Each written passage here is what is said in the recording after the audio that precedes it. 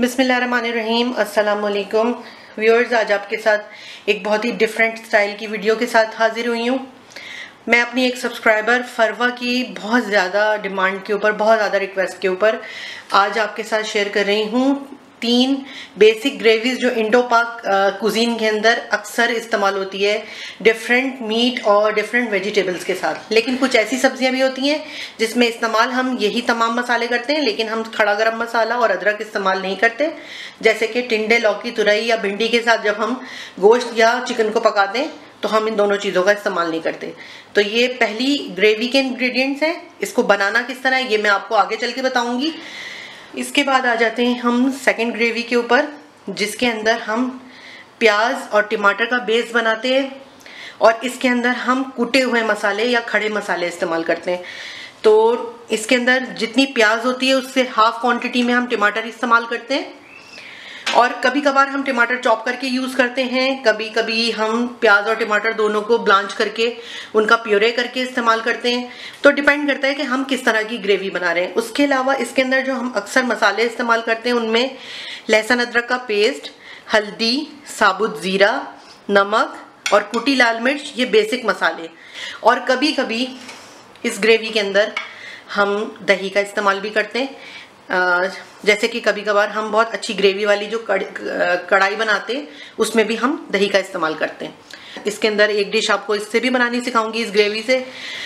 तो अब हम आ गए हैं अपनी थर्ड ग्रेवी की तरफ़। ये थर्ड ग्रेवी जो है हमारी, ये है वाइट ग्रेवी काफ़ी सारे इंग्रेडिएंट्स ऐसे हैं जिन्हें ऑल्टरनेट करके आप वाइट ग्रेवी बना सकते हैं। ज़्यादातर इसकी बेस जो होती है, वो होती है अनियन और दही के ऊपर, तिल, इसकी जगह मेलन सीड्स भी लिए जा सकते हैं। वो मेरे पास इस वक्त नहीं है, इसलिए मैं आपको नहीं दिखा रही।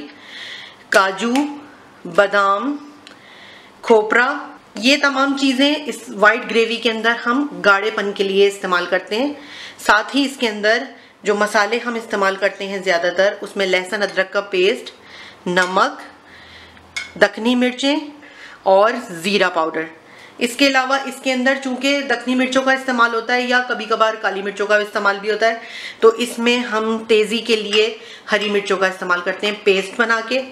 और कभी कभी इस रेसिपी के अंदर, इस ग्रेवी की रेसिपी में भी हम साबुत गरम मसाले और अदरक जूलियन कटी हुई अदरक का इस्तेमाल करते हैं।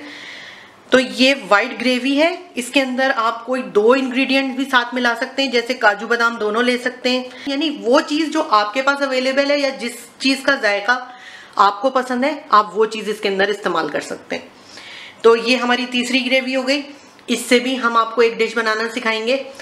तो उम्मीद है कि ये तमाम ग्रेवीज जो हैं, ये आपको समझ आई होंगी और इससे आप काफ़ी ज़्यादा फ़ायदा उठाएँगे। इसके अलावा भी बेतहाशा इंग्रेडिएंट्स हैं जो कि अलग अलग रेसिपीज़ के हिसाब से इनमें तब्दील किए जाते हैं। लेकिन मैं आपको सिर्फ़ बेसिक बता रही हूँ। तो नेक्स्ट वीडियोस जो हैं उसके अंदर इन्हीं एक एक ग्रेवी से एक एक डिश में आपको बनानी सिखाऊँगी।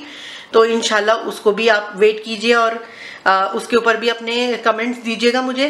अगर आपको मेरी वीडियोस अच्छी लगती हैं तो मेरे चैनल को सब्सक्राइब कीजिए और वीडियो के नीचे लाइक का बटन प्रेस कीजिए। इसके अलावा मेरा फेसबुक पेज है, उसे देख लीजिए, वहाँ काफ़ी रिटर्न रेसिपीज़ हैं। अपने कमेंट्स में अपने सजेशन और अपने व्यूज़ मुझसे शेयर करते रहा कीजिए। मुझे अपनी दुआओं में याद रखिए। अल्लाह हाफिज़।